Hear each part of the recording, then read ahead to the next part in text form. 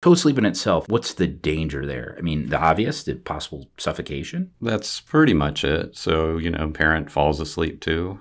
You know, they're comforting the baby, they're nursing the baby. Mom, you know, maybe doing that. Maybe dad does a bottle feeding while they're in bed or couch. And, you know, when you're a new parent, the young baby, you tend to be sleep deprived Yeah. chronically. You know, you fall asleep. I'm sure I was guilty of doing that with a baby in my lap or in my arms at one point or another. So, you know, 99% of the time, it, everything goes fine, obviously. Everybody wakes up and is fine, but we want to eliminate that small chance that, you know, something bad could happen.